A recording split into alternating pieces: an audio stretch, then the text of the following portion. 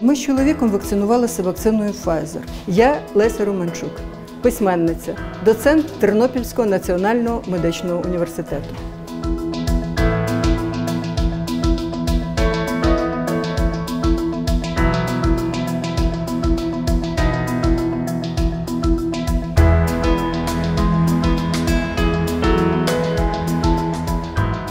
Далі ми вислуховуємо серцебиття плоду, так?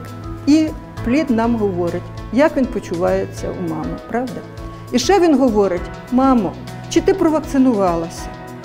Тому що я у небезпеці, я можу народитися, а навколо світ вкрай небезпечний, навколо пандемія.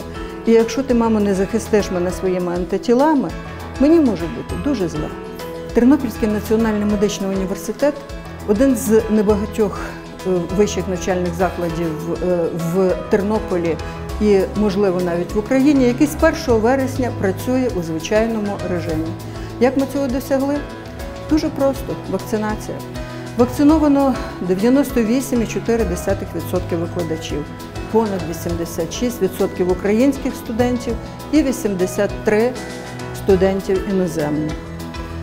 Студенти роблять це не з примусу.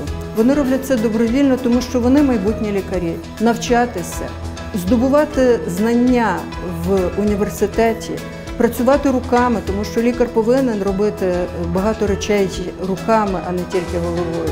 Цього не можна навчитися в дистанційному режимі. І тому ми прийняли свідоме рішення вакцинуватися і продовжувати наше життя Окрім моєї основної роботи, я ще пишу книги, вірші, авторка восьми збірок поезії, пісні і романи. Книжок у мене дуже багато, тут лише частина, на загал їх близько 40.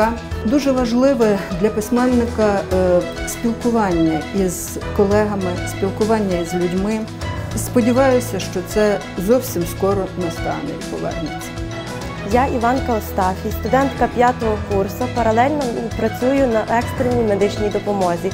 І щодня стикаюся з тим, що є багато випадків дуже важких хворих, які е, попередньо не вакцинуються. Я сама вакцинувалася ще навесні, е, коли тільки е, почали проводити вакцинацію. Моя вакцина була AstraZeneca, оскільки тоді вони тільки й були. Потрібно вакцинуватися, щоб разом подолати цю пандемію.